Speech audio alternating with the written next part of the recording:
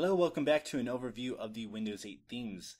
I'm Joshua and for the next 10 days I have 10 themes that will be previewed for you guys to go ahead and decide of whether or not to personalize them with your PC and with the, today's theme. Before we start, if you'd like to go ahead and see more of these videos, you can hit the subscribe button before or after I start.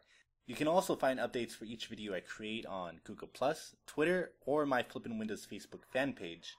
So today's theme is Doden, Let's go ahead and take a look at the interface to see if it belongs on your desktop. Beginning with the wallpaper, it has a gray block pattern to which it will match the accents of the theme. Down below on the taskbar, you can see it has a light red color to it, which the creator chose for this theme. Right clicking on the system clock, we have the same clock. Right clicking on the taskbar to get to the task manager, the interface is white with black font and is the same as the stock Windows interface. Opening the File Explorer gives us an in-depth look at the Windows interface. The title bar has the help of the T-bar icon blinker and also the blank caption text font, meaning on the left side you usually see an icon of the option that you chose, but that icon has been disappeared with this particular program. Devices and drives have both light red and gray to indicate the amount of space on each. Going to the system properties, the stock interface has been left unchanged from your stock Windows color.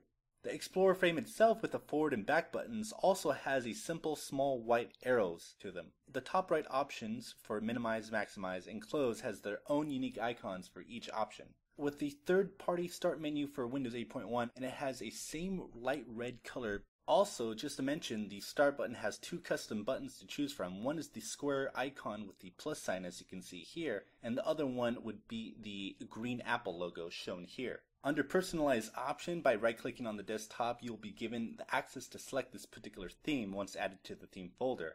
So since that ends the overview for the Doden theme, the theme will be available for download in the About tab of this video, guys.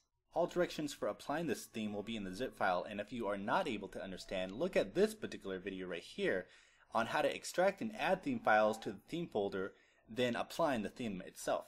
Also, the only way to use third-party themes is to install a third-party theme patcher, and I have a video on how to do that with the download link shown here. So if you guys enjoyed this video, please give it a thumbs up and share with all your friends. If you guys want another theme like this, go ahead and wait for the next one or at the end of the video. So guys, I'm glad that you guys enjoyed the video at your one-stop place for Windows tech and customization, and don't forget to subscribe to Flippin' Windows so we can all grow together. And until more content arrives, catch you guys on the next one. Bye guys.